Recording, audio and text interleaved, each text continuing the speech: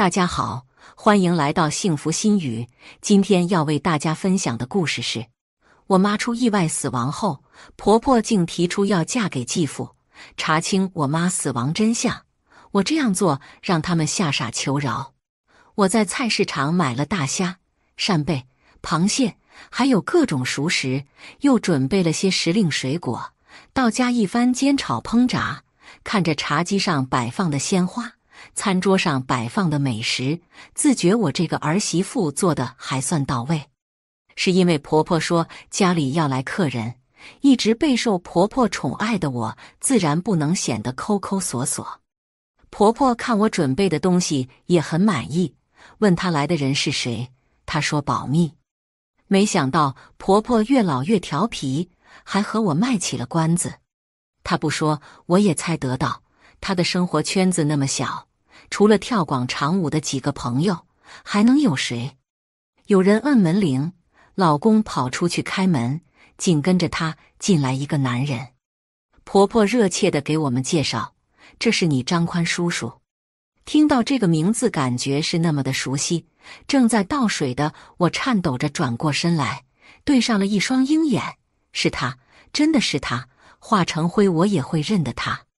名叫张宽的男人也认出了我，他的眼神在我的注视下闪开了。婆婆没有看到我们之间的暗流涌动，她的眼睛一直盯着张宽，那是一个女人看向自己所喜欢男人的眼神。婆婆这些日子一直在跳广场舞，回到家里谈论最多的就是步伐，还有东家长和西家短的事情。怎么从来没有听她说起有这样一个男人？是我大意了，总以为婆婆结交的都是姐妹，忘记了跳广场舞的也有老头。我不反对婆婆找男人，但是如果是他，那绝对不行。即使我和婆婆的关系再好，他也不行。但是我的事情也不能让她知道，所以现在不能露出任何的马脚来。让张宽主动离开婆婆，并且不把我从前的事揭露出来，是我现在要做的事情。想到此，我笑了笑，对张宽说道：“叔，不知道我妈今天带您来，我也没准备酒，我这就出去给您买瓶好酒。”然后在婆婆愕然的眼神中，拉着老公于伟出了门。于伟看出来没有？妈这是要给咱找后爸。妈为人善良老实，咱可得给她把好关，不能让她被骗，让你死去老爸一辈子攒下的产业被人骗了，到时候咱们还不得喝西北风去？我说妈，今天早晨描眉画眼，原来是为了老男人。我爸刚走一年多，他就找老伴，也不琢磨琢磨我心里难受不？于伟和他妈亲。但是心理上估计也难接受婆婆这么早找老伴，我可不管于伟难受不难受，只要他和我一条心就行。于伟，一会回去后，如果你妈和张宽提起结婚的事情，你扮黑脸，我扮红脸，怎么说我也是儿媳妇，不好和他撕破脸。媳妇都听你的，你说这日子过得好好的，他整这一出，给人添堵。买了酒，往回走的路上，我的手机突然响了。我拿出来一看，是一条短信息。望着上面的文字，我的头脑一阵发空。他居然猜到我要做什么，提前警告我了。回到家里，婆婆和张宽已经坐在餐桌前，而张宽似笑非笑望着我。我觉得他的笑容里藏着很多的深意。于伟已经开始表示他的不满，全程黑着脸。我的脚在桌下被踢了一下，抬头看到张宽对我努嘴，还做了一个发狠的表情。婆婆没有管于伟的态度，她站起身来，端起酒杯说道：“向晚，于伟，你爸已经走了一年多了。本来我没有结婚的打算，但缘分这事谁也说不准。我碰到了张宽。”这半年来，他对我特别好，总能逗我开心。我想过了，人生不过百年，不想在后面的日子死气沉沉度过，有他陪伴也好。所以我想和他结婚，在一起生活。于伟摔了筷子，妈，我不同意。小婉也不同意，他示意我也说几句。我站起身来说道：“妈，张叔，老年人再婚也是普遍现象，我们是通情达理的。你们什么时候办婚礼？我和小伟送一份大礼给你们，是准备再买一套房子，还是和我们住一起？”于伟转头看我，他想不到刚才还怂恿他反对这门婚事的我，怎么会变了一副嘴脸？望着他难以置信的表情。我轻轻拍了拍他的手，示意一切都在我的掌控中。向晚，我和你妈商量好了，准备结婚后和你们住在一起。你们有了孩子，他还能替你们看。你看，即使和我结婚，他也会照顾你们，还能有我搭把手。你们并不是少了一个妈，而是多了一个爱你们的人。张宽笑眯眯看向我，谢谢张叔。晚上，于伟问我为什么突然答应婆婆和张宽的婚事的时候，我哄他说是因为我想到了更好的办法。于伟这个人心思简单，我说什么就是什么，所以骗他一点也不难。他搂着我说：“老婆，我妈要嫁人，我现在只有你了，你可不能离开我。”我用自己的身体安慰了他难受的心。并且告诉他我会去调查张宽的为人，让婆婆知难而退。于伟沉沉睡去，我却辗转难眠。如何阻止张宽进入这个家，并且还要让婆婆自己提出来？这确实是一个天大的难题。都说老年人的恋爱像是老房子着火，婆婆如今春心荡漾，再加上张宽的甜言蜜语，让我愁得牙疼。第二天晚上下班的时候，我溜达到了公园，看见张宽搂着婆婆跳四步，不得不说两人的配合天衣无缝，赢得了阵阵掌声。婆婆娇羞的靠在张宽的肩膀上，就是一幅美好的夕阳红画面。如果这个人不是张宽，我会为婆婆祝福的。皱着眉头看了一会，我突然想出了一个主意：对，打蛇打七寸。我要想一个双管齐下的主意，赶走他。半个月后，婆婆的精神明显不济，去跳广场舞的次数也少了很多。我明知故问，问他怎么了。他想了好一会，才说：“张宽和我说要分手，问他什么原因也不说，还说让我来问你，向晚你和张叔有什么过节吗？如果你们真有，妈可以放弃他。”这个老狐狸还挺会倒打一耙。妈，我和张叔好好的，从来都不认识，怎么这么问？婆婆突然激动起来，拿出一张照片摔在我面前，那是张宽和漂亮女子的合影。这是什么？你把这张照片让于伟塞到我的兜里，我去质问他的时候，他就说我们分手吧，守着你，我们俩也到不了一块。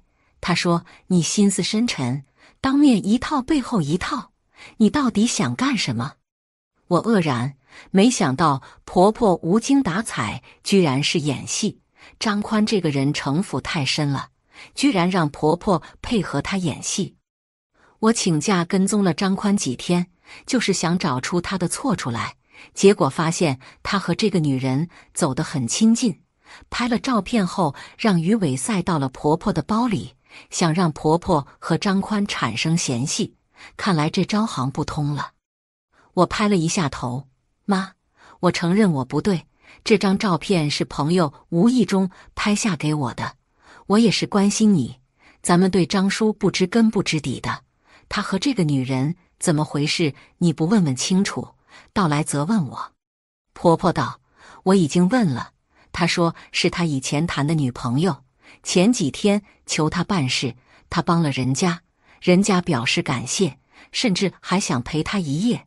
他说有了我，不会办那种龌龊事。他还让我和那个女的见了面，什么都说清了。向晚，无论你和于伟同不同意，我和张宽这个婚结定了。我叫苦不迭，没想到偷鸡不成蚀把米，太大意了。虽然不知道那个女人是什么来路。但是知道肯定和张宽是一伙的，现在由于张宽的狡辩，反而激起了婆婆的逆反心理，只能不停认错，先安抚好婆婆的情绪再说。婆婆态度强硬，但是还是顾及了于家人的脸面，把婚礼的日期定在了次年的五一。想想还有将近半年的时间，我心里稍稍宽松了些。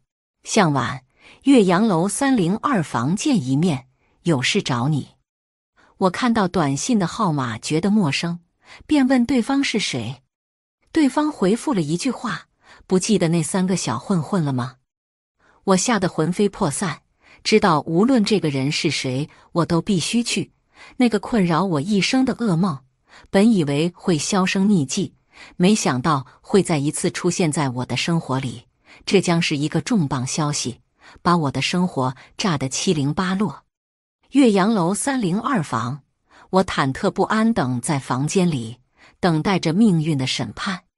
走进来的果然是张宽，他斜睨着眼。看了我一眼，又叫了几个特色菜，还有一壶老酒。闺女，别来无恙。咱们爷俩在于家演了这么久的戏，都没有好好坐在一起说过话。来，一起喝一杯。谁是你闺女？别套近乎了。我呵斥着这个魔鬼。张宽倒了一杯酒，自顾自说话：“你不喝酒也行，求你办件事，让你婆婆把婚礼提前。”时间太急不行，他准备不充分，婚礼酒席也搞不定，就定在两个月后吧。张宽，你还真是狗改不了吃屎，哪个女人碰到你不死也得扒层皮，让你和我婆婆早日结婚？你疯了！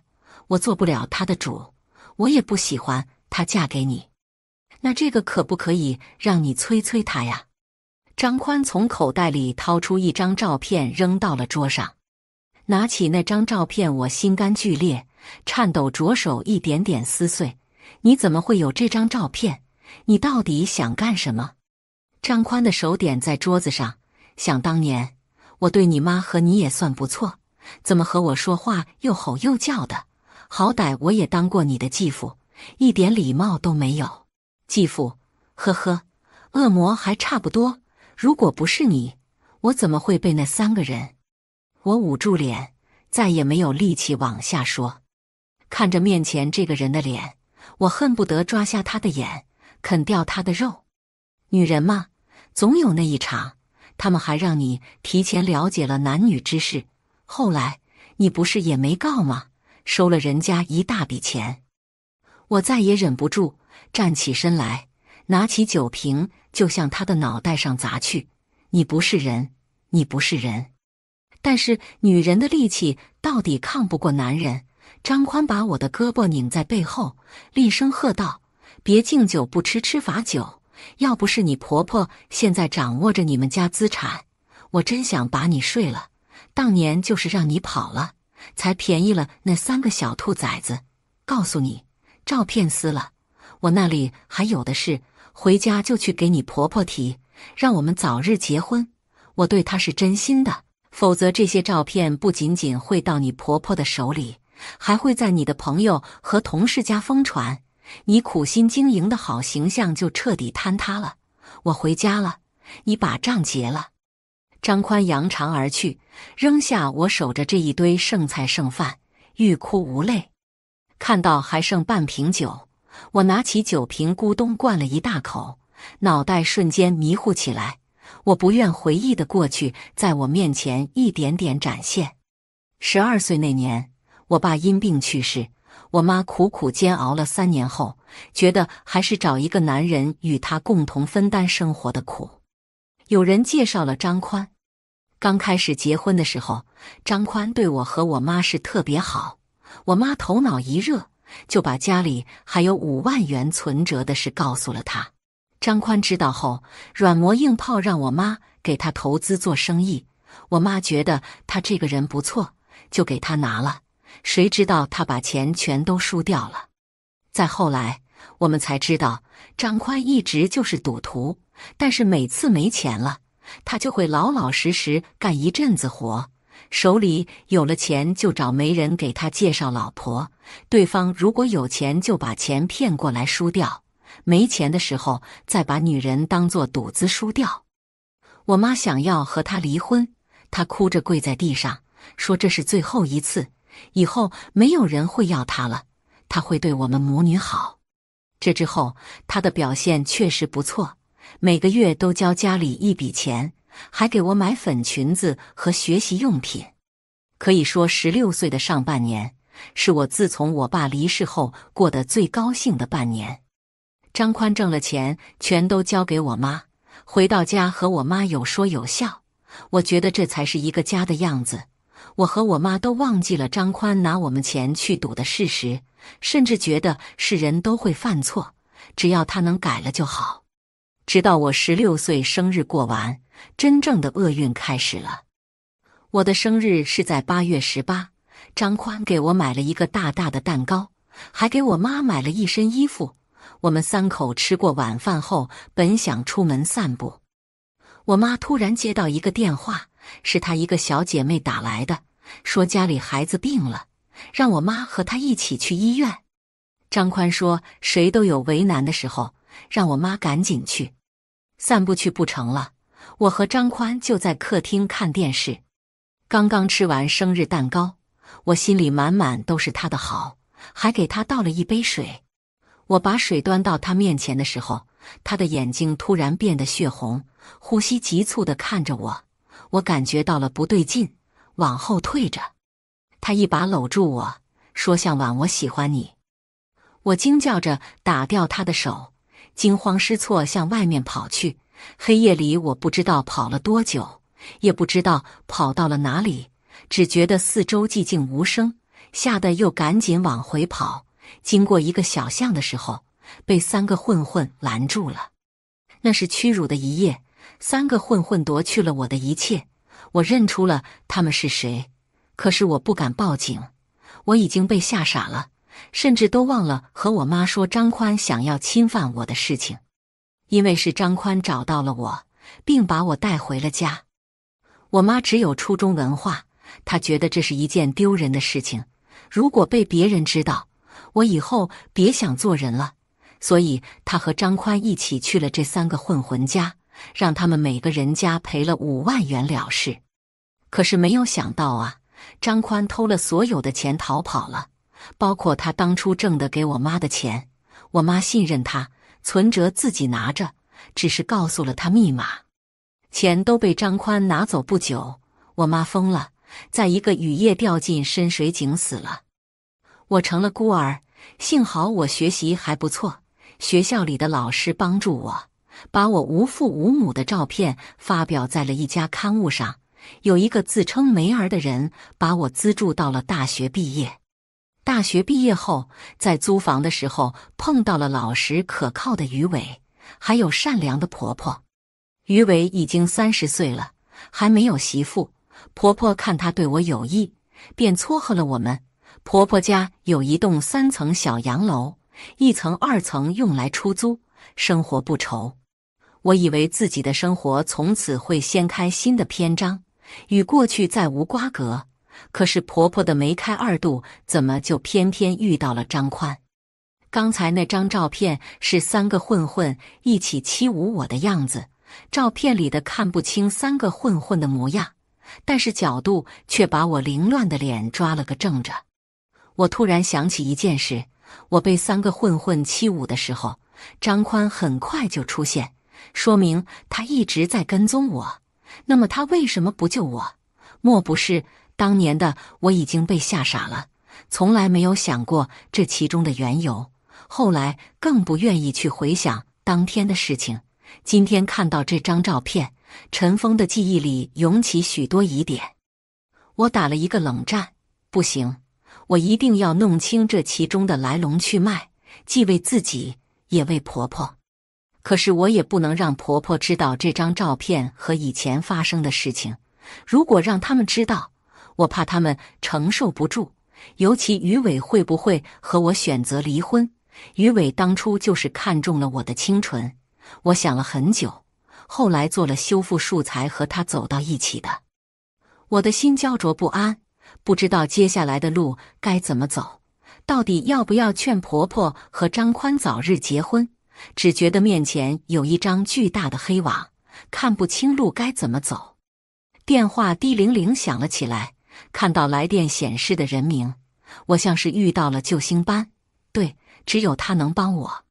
晚上，婆婆挽着张宽的胳膊回来了，看到我准备好的饭菜，她愣了一下：“妈，前段时间是我和于伟不懂事。”总觉得爸走的时间不长，您这么快，心理上有些接受不了。现在我们也想开了，人走了，谁也不可能守一辈子。您年龄大了，高兴一天是一天。妈，张叔叔，我和于伟敬你们一杯。我和于伟举着杯，婆婆喜上眉梢，张宽也举起了杯，装模作样说了一句：“你们都是好孩子，心情能理解。”以后咱们一家人好好过，我在心里哼了一声。张宽，别高兴得太早。我和婆婆说，既然和张宽情投意合，就早日结婚。我希望他幸福。饭桌上，我们都很高兴。张宽走后，婆婆突然把我拉到卧室，她说：“向晚，和你说句实话，张宽虽然对我不错。”可我总觉得他好像挺神秘的。问他从前的事，他从来不说。向晚，你说他会不会骗我？妈，你这是得了婚前恐惧症。张宽叔叔人挺好的。那好吧，不过怎么也得过了你爸的周年再说。那就过了九月初六再说。我算了算，到九月初六还有三个月，时间足够了。于是答应了婆婆。每日里，婆婆和张宽出双入对，俨然成了我们这片的风景。婆婆对张宽也是真好，给他买新衣服、新鞋子，和他一起去外面旅游。而张宽的甜言蜜语，每天都能把婆婆哄得开怀大笑。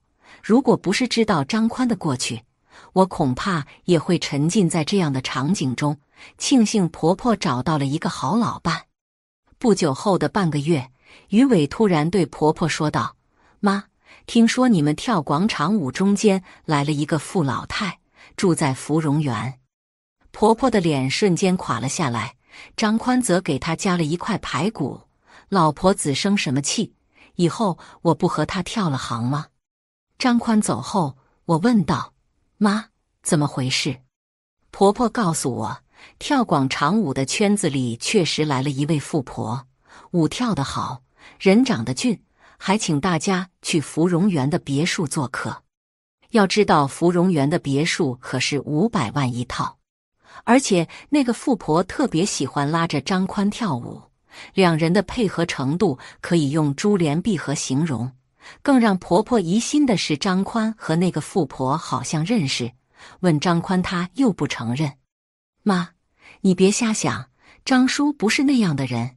你这是爱的太入戏，来个女人就觉得有人要抢走她。婆婆欲言又止，我没给她说话的机会，让她自己去琢磨吧。女人嘛，总是喜欢胡思乱想。我要做的是让于伟再给添把柴火。这个富婆出现的真是及时。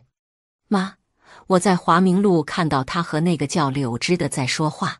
不知道是约好的还是偶遇，我无中生有说道。婆婆的脸又拉成了驴脸，别和我说她一个星期了就来家里吃一顿饭，说她有个朋友过来了。我看她就是被富婆迷了眼。妈，两个人要互相信任。张叔人不错，不然明天你去他的出租屋看看，是不是他碰到了什么为难的事情？婆婆没有言语。我则发了一条短信：“明天按计划行事。”第二天吃过早饭，婆婆拎着个小包就出门，说出去买菜。我顺嘴告诉她，给我买些棋子烧饼回来，因为我知道卖棋子烧饼的就在芙蓉园附近。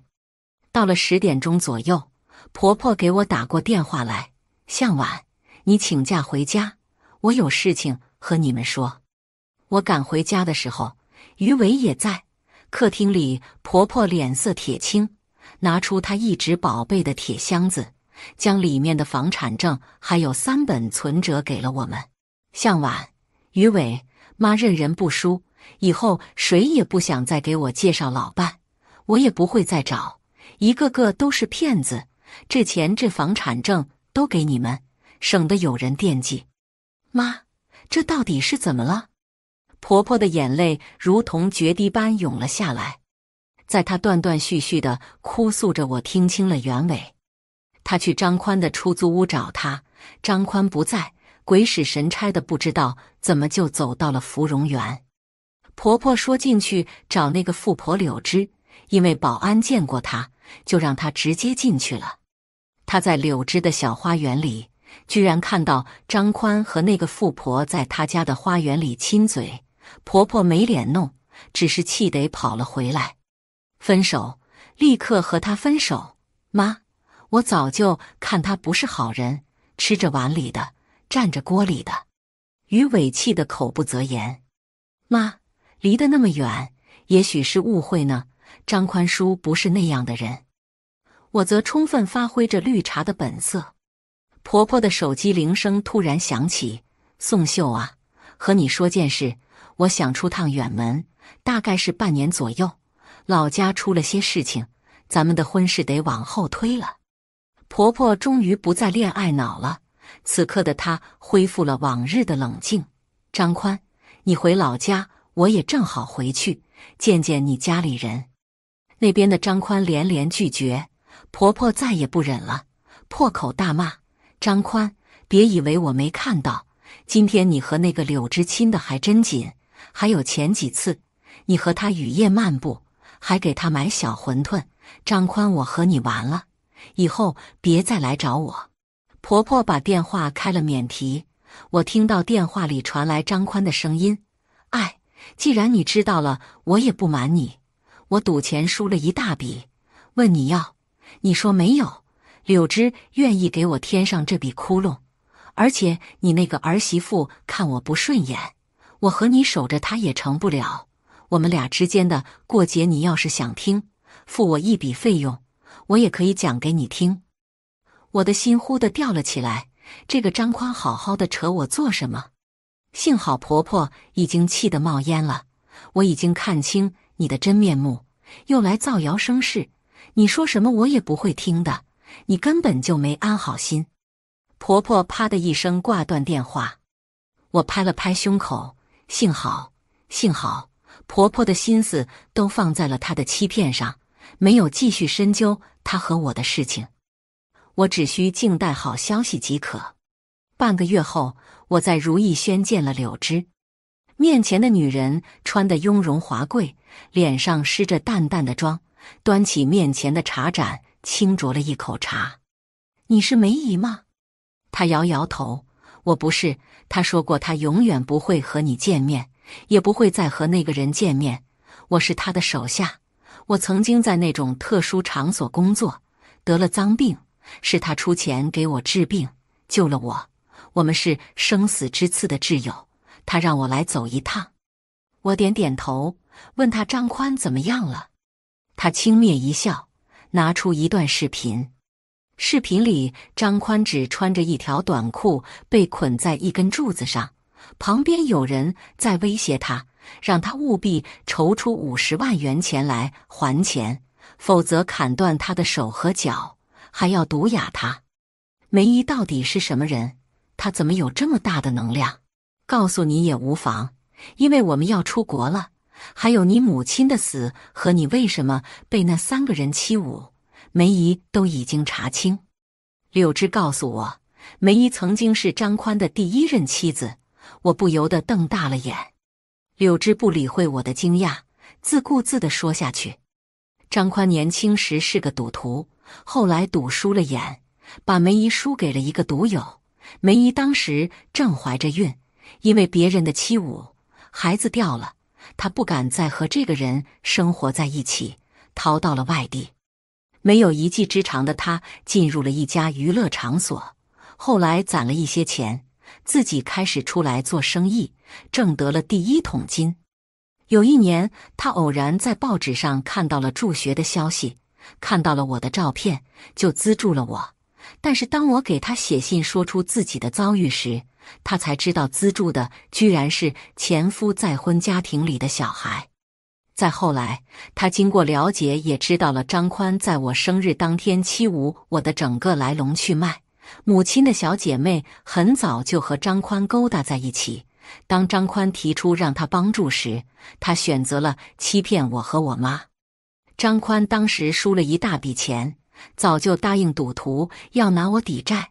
他对我动手动脚，就是逼迫我逃跑，然后让三个混混得逞。事后就是他不停怂恿我妈让那三个混混拿钱。后来他偷钱逃跑，只是把钱又还给了人家，顺便又赌了几把而已。而我妈在疯了后也没有逃过他的魔爪。我妈是在和他偶遇后疯狂追着他打，被他推到了下水道里。梅姨知道这些后，只是对我多了些心疼，但是并没有把事情的真相告诉我。她觉得我是真的苦，而且这些事情在那些手下打张宽的时候，梅姨已经让他们又问了一次，张宽已经亲口承认。我捂着胸口。如果不是碰到梅姨，如果不是有她帮我，我和婆婆还有于伟，恐怕又要遭到张宽的毒手了。柳枝继续说道：“梅姨接到你的求救电话时，就决定让我来解决他。梅姨知道他这个人贪财好色。梅姨说，他和你妈已经都被他把生活糟蹋了，不想让你再重蹈他们的覆辙。这些年，他是把你当成女儿来疼的。”所以他不会让任何人来破坏你的生活，尤其张宽。我真没有想到自己的背后会有梅姨这样一个女人。如果不是她，我会被张宽捏得死死的。难道说这一切都是冥冥中自有定数？柳枝告诉我，接到我的电话后，梅姨就派他来这里和张宽接触。久经欢场的他，拿捏男人还是有一套的。张宽很快就陷进了她的温柔乡，再加上婆婆比较保守，一直不让张宽近身，而她很快就和张宽上了床。有一个有钱又漂亮的富婆主动投怀送抱，张宽自然是选择柳枝，然后柳枝就带着他去了一个大城市的地下赌场，无论他怎么输，柳枝都为他买单。只是在最后一场大赌注的时候。柳枝悄悄溜走了，谁也不知道赌场老板和梅姨是怎么样的关系，柳枝也说不清楚。然后就有了张宽被绑、被调戏、被追着问过去事情的来龙去脉，而梅姨也验证了所有的一切。柳枝说，赌场老板是个义气中人，听了张宽的所作所为后，很是气愤，对他痛打了好几顿。他现在。怎么样了？柳枝又翻到下一个视频，视频里张宽披着一张破麻袋，走在大马路上，嘴里念念词：“我没输，我还能赌。”他疯了。不仅如此，他也活不了多久了。为什么？柳枝拿出一份鉴定书，是他的体检报告，上面写着他得了艾滋病。我并不是故意要害他。这份鉴定书前天刚出来，是我前阵子谈的一个男人传染给我的。我一直当感冒治，只能说是他不幸，或是天要亡他。柳枝苦笑，我不知道这个女人遭遇了怎样的不幸，面对这样的事情居然没有一丝波澜，所以她不会再来给你找什么麻烦了。向晚，你的过去不会再有任何人知道，好好和于伟一家。过日子吧，我和你梅姨的一辈子就这样了。希望你能过得比我们好。回到家里，于伟正在洗衣服，婆婆熬好了汤，让我赶紧洗手一会，准备吃饭。坐在桌前，看着婆婆和于伟说话，我突然觉得恍如隔世一般。从今以后，再没有张宽，再没有任何的不幸会来光临我。柳枝临走的时候还给了我五十万，说是梅姨给我的，让我留作私房钱。人生有许多的变数，手中有些应急的钱总是好的，但愿不会有太多的变数吧。虽然我欺骗了于伟，那件事一直没有和他提过，也为了满足他想娶一个纯洁女人的愿望，做了修复术。但是今后我会用一生来弥补他，希望老天能够原谅我这个善意的谎言。为了儿子守寡十八年，伺候儿媳坐月子时，儿子的一番话让我决定再婚。都说儿孙自有儿孙福，莫为儿女做牛马，人人都知道的一句老话。但现在的父母，大多数都是一辈子忙忙碌碌，不间歇的为儿女操心着。有的儿女会感恩父母的付出，可有的儿女却会觉得理所应当。更荒唐的是，现在有不少儿女在用得到父母的时候，就把父母当至亲。而用不到的时候，有些子女就会和父母成为陌生人一样，没了所谓的亲情和孝顺，让不少父母很心寒。五十二岁的何阿姨最近就被独生儿子伤透了心，为了儿子守寡十八年，去年去伺候儿媳坐月子时，儿子的一番话却让她心寒至深，决定找个男人再婚。再也不管儿子了。以下是来自和阿姨口述编写。从来没想过，辛苦养育二十来年的儿子，最后却成为了别人家的儿子。我叫何翠菊，今年五十二岁，刚退休一年半，同时我也一名守寡十八年的单亲妈妈。我二十二岁嫁给同工厂的丈夫，次年生下子。那几年里。我们一家三口过得很幸福，但是这幸福很短暂。儿子九岁时，丈夫却因病去世了。丈夫走后，我压力山大，因为我们刚贷款买房四年，月月要供房，儿子又是城市户口，学费一大堆，而住在小叔子家的公婆也不管我们，甚至还提出我可以改嫁。但我得放弃儿子的抚养权，并且房子和车子都得留给他们。当时娘家父母也好，还是一些好朋友也罢，纷纷叫我什么都不要，还是趁着年纪不算老，再找个男人结婚比较好。丈夫走后一年多，被生活压力压得喘不过气的我，也想过抛弃儿子。放下一切财产去再婚，可得知儿子跟着公婆在小叔子家，根本住的不好，公婆也区别对待，对小叔子家的孩子很好。儿子那会儿听到公婆劝我抛弃他去改嫁，就哭着不让我走。看着儿子那一把鼻涕一把泪的模样，我真的于心不忍。辛苦生养那么多年。我真做不到无情和冷血，所以为了儿子，我选择了守寡，一个人养育儿子长大。虽然说儿子九岁过后就没有过父爱了，但我却从来没有让他缺失过母爱。儿子从小到大，我没亏待过他，只要他想要，我都会尽力满足。儿子也算是懂事和出息。学习上一直很优秀，成功考上了九八五大学，又读了研究生。毕业后更是留在省城工作，虽然不是什么铁饭碗的工作，但也比很多同龄人要优秀了。最主要的是，儿子还找了个省城的女友，长得很漂亮，家庭条件也不错。儿子的工作也是对方父母帮忙安排的。看到这一切，让我很是欣慰和高兴，更是让我在很多亲戚朋友面前好好长了一回脸，觉得辛苦这么多年都是值得的。但是前年儿子谈婚事时，却让我有点为难了。原本我是想着在县城买套房子给儿子结婚的，然后儿媳也在这边养胎生娃。当时我也还有几个月就退休了。退休下来就可以帮忙伺候儿媳和孩子，这就是我在儿子结婚前早就计划好的。而我手里也只有三十来万的存款，只买得起我们县城的房子。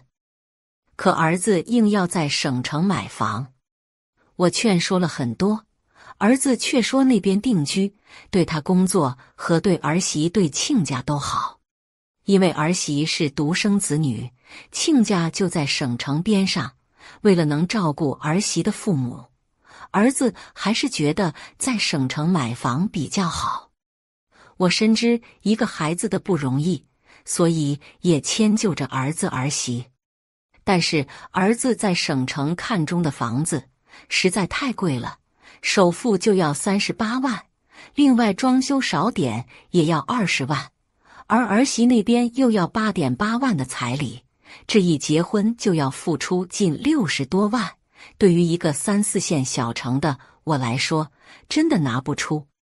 我拿出所有积蓄，共三十二万左右给儿子，让他想想办法，比如房子别买太贵的，或者装修不要奢侈，更或者叫儿媳不要收彩礼，毕竟以后都是他们两个人过日子的，能省则省。儿子却不肯，硬要买看中的房子，而他们两个年轻人又月月光，除了办婚宴的费用能负担以外。其他都还是要我这个做母亲付出，可我哪里来钱啊？找公婆，可公婆都八十多岁了，哪好意思叫他们给钱？找娘家人更是让我说不出口。儿子看我倒迟迟凑不够钱，就叫我住的房子给卖了，等到他买了房子再接我过去住。那时候我这房子估值大概在六十多万左右。正好可以一次性解决所有支付，并且还能留点钱给儿子买车。不过我没有同意儿子的请求，都说金窝银窝不如自己的的老窝。我都一把年纪了，怎么可以卖掉这最后的归宿之地？但儿子结婚也很重要，没办法，我只好拉下脸，跟十多个亲戚借了近十来万，然后又卖掉了楼下的车库。才凑够买房子和装修款，而房子的事解决了，彩礼钱却又不够了。我跟儿媳商量，这彩礼要不就算了，实在要的话，我们就分期给，我每个月给他三千，三年付清。结果儿媳却一点也不思量人，硬说要一次性。儿子也说我没有分期给的，这很丢脸。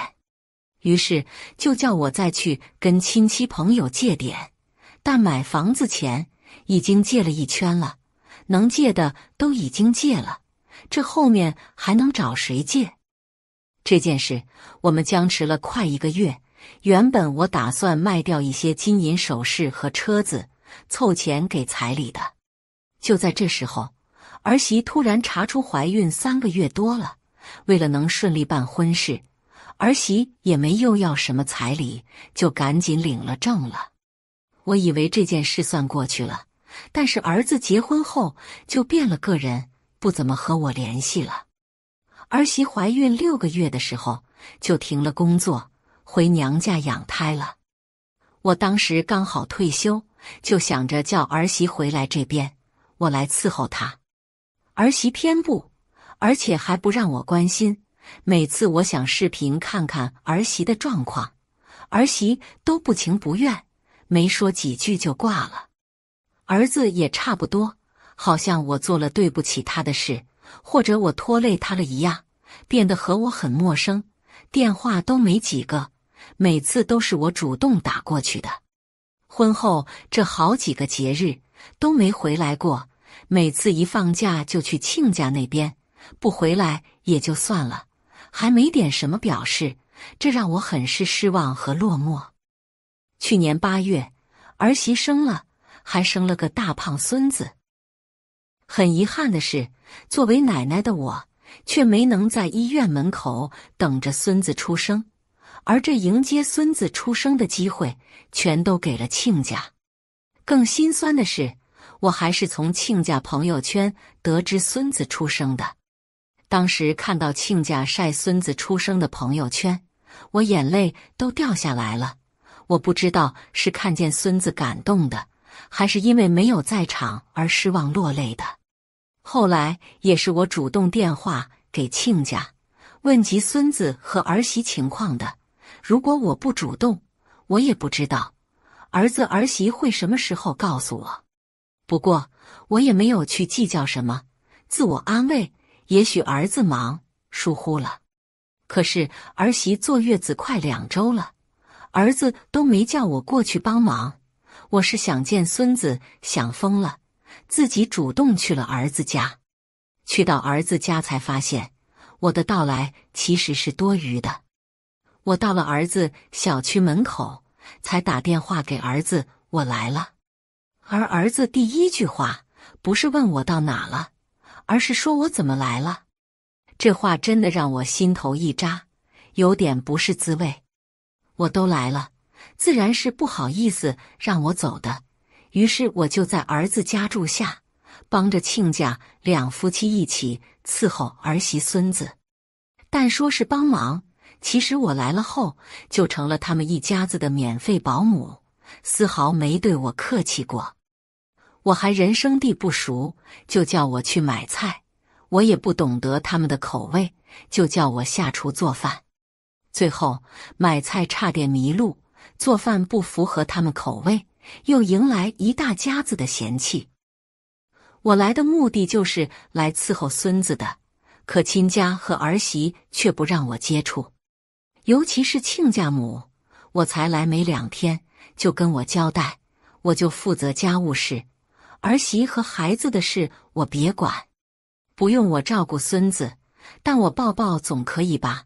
结果亲家母也不肯，好几次我想去抱孙子。亲家母都说小孩骨头软，我不会抱，又说我到处转悠了，有细菌和病毒。我明着抱不了孙子，那我就偷偷的趁着他们睡午觉的时候进去抱。谁知就在儿媳出月子的那天，我偷偷抱孩子时，被儿媳抓了现行，然后他们就把房门反锁，不让我进了。而过了没几天。孩子突然发烧了，亲家母和儿媳找都没找原因，就直接说肯定就是我不干不净，抱了孙子才这样的。又说是我们做的饭菜太热气，儿媳吃了，导致孙子也上火发烧了。总之什么原因都往我身上推。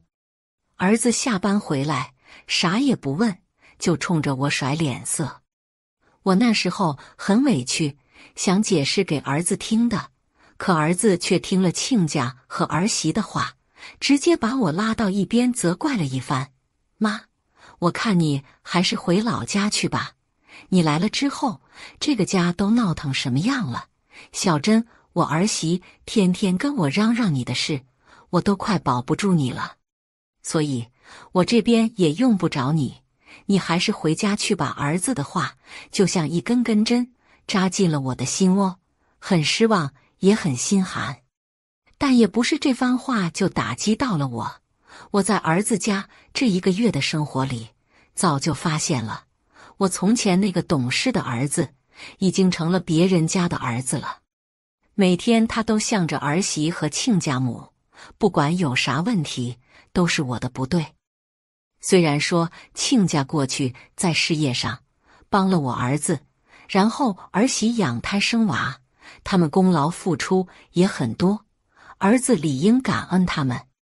但我也付出很大呀，为了儿子，我一直没有再婚，一个人供他读书，又为了他的婚事掏空积蓄，还欠下这么多债款。但为啥儿子却不懂得感恩我呢？儿子也是说到做到，孙子发烧后没几天，他就劝我回家去了。看见儿子坚决的态度和那天很无情的话，我也没有跟他僵着，收拾了行李，买了最早的高铁票就走了。虽然我知道儿子本性不坏，但是我再也不想为他付出了，觉得余生我还是要好好爱自己才对。回家路上，我就做出了一个决定：找个男人再婚，然后好好度过余生。不再操心儿子的事了。